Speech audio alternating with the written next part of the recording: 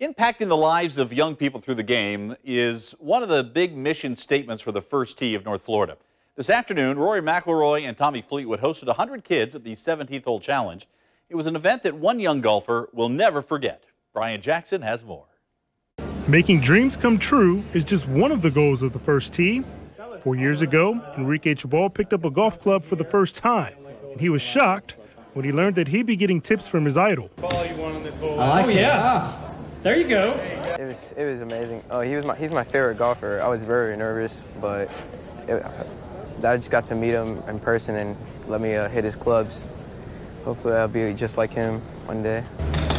I don't feel like I'm that far removed from being their age.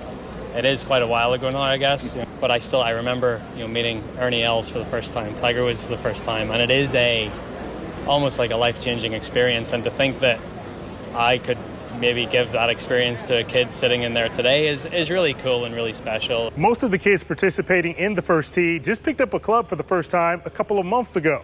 But introducing them to the game of golf is only one of the goals of this program. These 100 kids, I see them as leaders of tomorrow.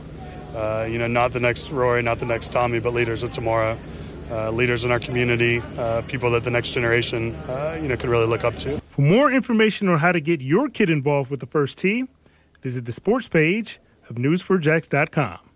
Brian Jackson, Channel 4, the local station.